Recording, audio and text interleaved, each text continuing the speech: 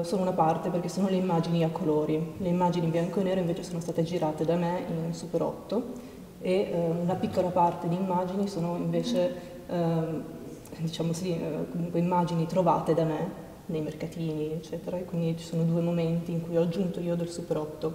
Quindi si crea questa distanza tra eh, l'immagine realizzata oggi in Super 8 e digitalizzata dall'archivio e l'immagine invece eh, in pellicola negli anni 70 o precedente che è stata digitalizzata dall'archivio che è accessibile soltanto nella sua forma digitale.